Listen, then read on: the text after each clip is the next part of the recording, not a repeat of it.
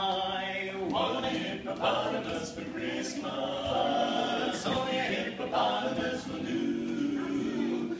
Don't wanna buy her dinky tinker toy. I want a hippopotamus to play with and enjoy. Yes, I want a hippopotamus for Christmas. I really couldn't ask my mom for two. Mommy says a hippo will eat me up, but then teacher says a hippo is a vegetarian. See me now on Christmas morning creeping down the stair. Oh, joy and what surprise when I open up my eyes to see a hippo hero standing there. I want a hippopotamus for Christmas. Only a hippopotamus will do. No crocodiles or rhinoceroses.